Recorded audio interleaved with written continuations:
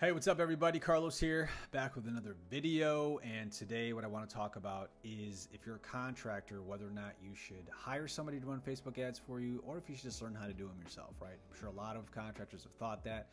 Ah, I don't really want to pay somebody. Maybe I'll just learn how to do it myself, okay? What's the best route for you? Obviously, I don't know exactly what the best option is going to be for you, but as somebody who has learned how to run Facebook ads for their own cabinet painting business and somebody who has uh, who is now running ads for other contractors, I might be able to give you some insight. So, the thing is, either way, you're going to be spending one of two things. Okay, you're either going to be spending your time or you're going to be spending your money. Possibly both if you have both, but I think most contractors is going to be one or the other. Okay, so if you have more time, then sure, learn how to run Facebook ads. Right? There's plenty of content on Facebook, uh, on YouTube that's free, right? That you can learn the technical aspect, right? Because you got to remember, there's two different sides to this. There's the technical aspect of how to run Facebook ads, which is how to use Facebook ads platform, what buttons to push, you know, how to run campaigns, how to test them, measure your KPIs, right? All that stuff. But then there's also like just the basic marketing knowledge that you have to have, right? So it's like, okay, where do I learn basic online marketing?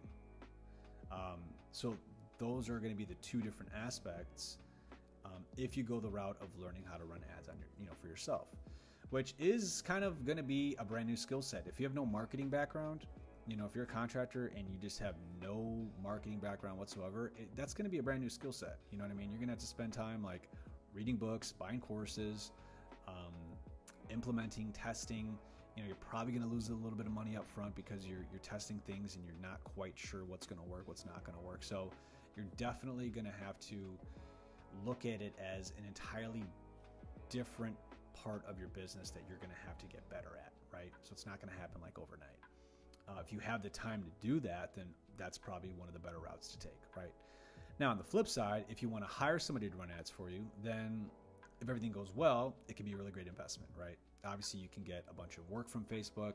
I mean, Facebook is a great platform. If you're a contractor and you do, you know, just typical residential work, like whatever, painting, um, cabinetry, um, you know, uh, roofing, just like any, anything residential based, um, you can you can crush it on Facebook for sure. So if you hire somebody and they do a good job for you, then it's awesome, right? Um, but it could also be a problem if you hire somebody they don't know what they're doing and they do pretty much everything you would have done if you tried it yourself, which is like waste money, waste time, and all that. So um, you're either going to be spending your own time figuring it out or spending money trying to find the right person to do it.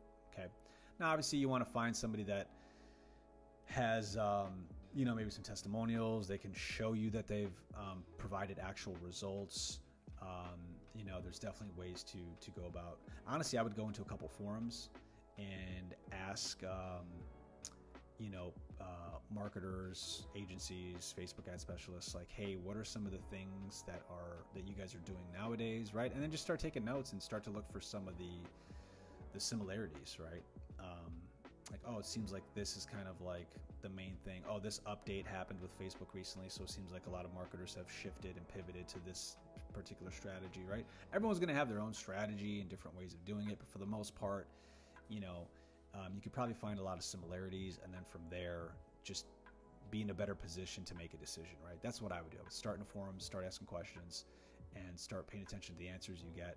Um, if you were going to go the, the the route of hiring somebody. So, again, I can't make the decision for you, but just know that if you want to do it yourself, it's going to take time. It's going to take a lot of effort. If you're going to hire somebody, it's going to take money, right? You're going to have to hire somebody. If you don't get the right person on the first try, then you're going to have to try somebody else, right? So it just depends on what you're willing to to spend, your time or your money. Um, but uh, again, Facebook, great place to run um, uh, ads for your contractor business. So, anyways, hopefully that helps. If you guys have any questions, feel free to hit me up in the comments or um, DM me. And um, yeah, talk to you guys in the next one. Peace out.